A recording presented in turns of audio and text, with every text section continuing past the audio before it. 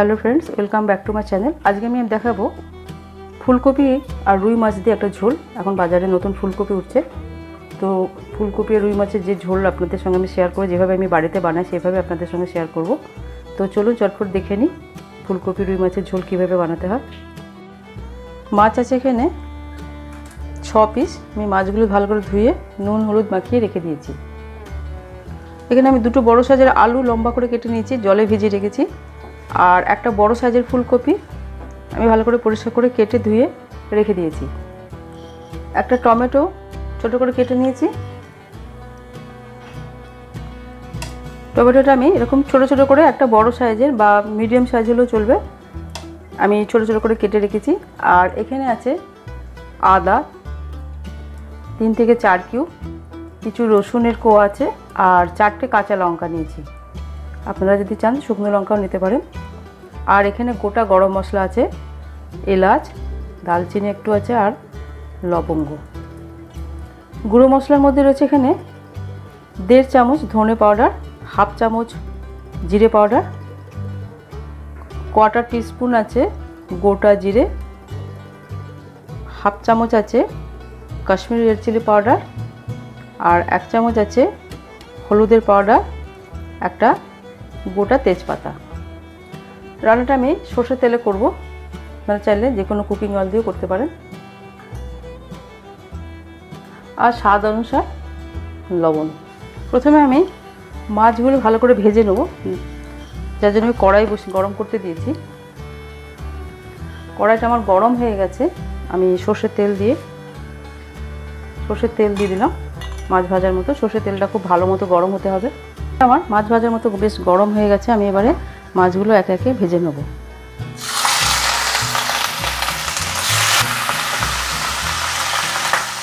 মাছগুলো একটু লালচে করে ভেজে নিতে হবে।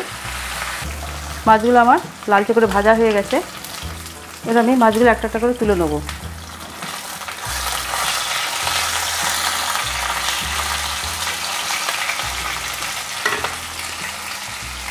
মাছগুলো একটু বেশ ভালোই কড়া করে বা লালচে করে ভেজে নিয়েছি।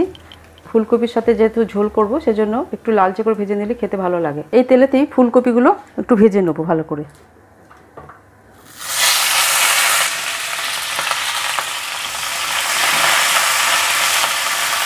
এতে একটু নুন আর হলুদ দেবো।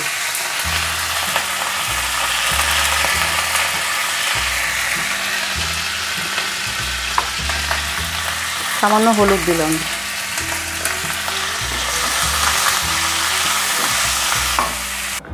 ফুলকপিগুলো আমার একটু লালচে করে ভালো করে ভেজে নিয়েছি। এটা একটা প্লেটে তুলে আমি সাইডে রেখে দিচ্ছি। এরপর যেটা করতে হবে, আমি একটা মশলা বানিয়ে নেব। মশলাটা হচ্ছে, আমি এখানে যে আদা, রসুন আর কাঁচা লঙ্কাটা দিয়ে দিলাম এখানে, আর গোটা গরম মশলা দিয়ে দিলাম। দিয়ে এগুলো সব দিয়ে একটা পেস্ট করে নেব। একটা স্মুথ পেস্ট আমি বানিয়ে নেব।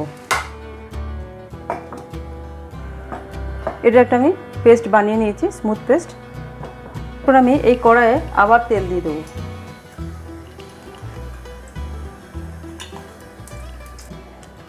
এরপর আমি তেলে দিয়ে দেবো তেজপাতা, একটা ছিঁড়ে দিয়ে দিলাম। আর গোটা জিরে ফোড়ন দিয়ে দেবো।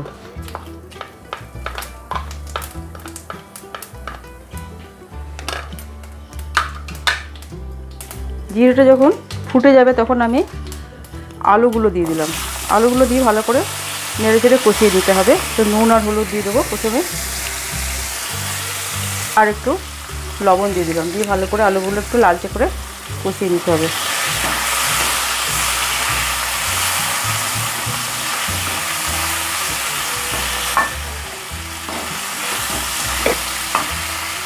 আলুগুলো কষতে কষতে আমি এর মধ্যে কুচুনো টমেটোটা দিয়ে দিলাম।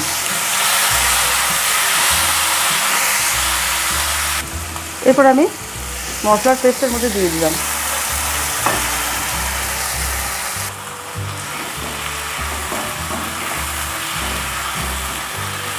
দিয়ে ভালো করে কষিয়ে নিতে হবে।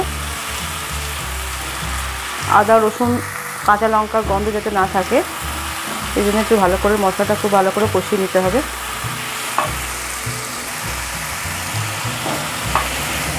মশলাটা আমার বেশ কষানো হয়ে গেছে। এরপর আমি গুঁড়ো মশলাগুলো দিয়ে দেবো। এখানে আছে ধনে জিরে জিরে গুঁড়ো, ধনে গুঁড়ো, কাশ্মীরের চিলি পাউডার আর হলুদের পাউডার, সব কটা দিয়ে দিলাম, সবগুলো। দিয়ে আমি একটু জল দেবো এর মধ্যে, যাতে মশলাটা পুড়ে না যায়। মশলা দেওয়া একটু জল দিয়ে দিলাম। দিয়ে আবার ভালো করে নাড়াচাড়া করে মশলাটা আলুর সঙ্গে মিশিয়ে নেব। মশলাটা আমার আলুর মশলা খুব ভালো করে কষানো গেছে। এবার আমি ভেজে রাখা ফুলকপিগুলোর মধ্যে দিয়ে দিলাম। এবারে সব আলু ফুলকপি মশলার সঙ্গে খুব ভালো করে কষিয়ে নিতে হবে।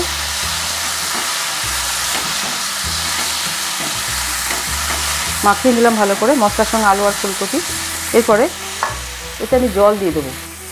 আলু আর ফুলকপিটা সেদ্ধ হওয়ার জন্য আমি এতে মশলা ধোয়ার জল দিয়ে দিলাম। আমি এতে একটু সামান্য চিনি দেবো, এটা অপশনাল আপনারা যদি না চান, নাও দিতে পারেন। চিনি দিলে ফ্লেভারটা আরও ভালো আসবে। এটা আমি আরও একটু জল দেবো। যাতে ফুলকপির আলুটা খুব ভালো মতো সেদ্ধ হয়ে যায়। দিয়ে দিলাম, ব্যাস। এবারে ভালো করে মশলাটা ভালো করে জলের সঙ্গে মিশিয়ে নিলাম।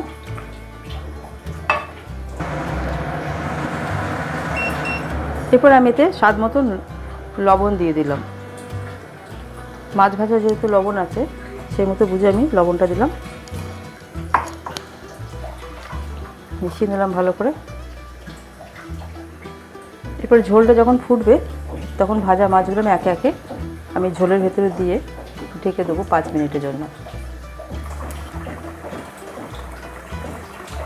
ঝোলটা ফুটছে, এরপর আমি মাছগুলো এক এক করে দিয়ে দেবো এর মধ্যে। দিয়ে আমি ঢেকে দেবো পাঁচ মিনিটের জন্য। পাঁচ মিনিট বাদে আবার আমি ফিরে আসছি। আমার তরকারিটা অলমোস্ট হয়ে গেছে। আলুটাও সেদ্ধ হয়ে গেছে, ফুলকপিটাও হয়ে গেছে সেদ্ধ, এবার আমি গ্যাসটা অফ করে দেবো। আর এটা এরকম ঝোলঝোলি হবে। গ্যাসটা অফ করে দিলাম। রান্নাটা আমার হয়ে গেছে, আলু, ফুলকপি, রুই মাছ দিয়ে ঝোল। এটা একবার বাড়িতে করে দেখবেন। আমি একটা প্লেটে সার্ভ করে দেখাচ্ছি। তো রেডি হয়ে গেছে আমার আলু, ফুলকপি দিয়ে ঝোল। এটা অবশ্যই বাড়িতে ট্রাই করবেন। আর আমার চ্যানেলটাকে অবশ্যই সাবস্ক্রাইব করবেন। যদি ভিডিওটা ভালো লেগে থাকে সঙ্গে বেল আইকন অবশ্যই প্রেস করে দেবেন। আজ তাহলে এই পর্যন্ত। আবার নিয়ে চলে আসুন নতুন একটা রেসিপি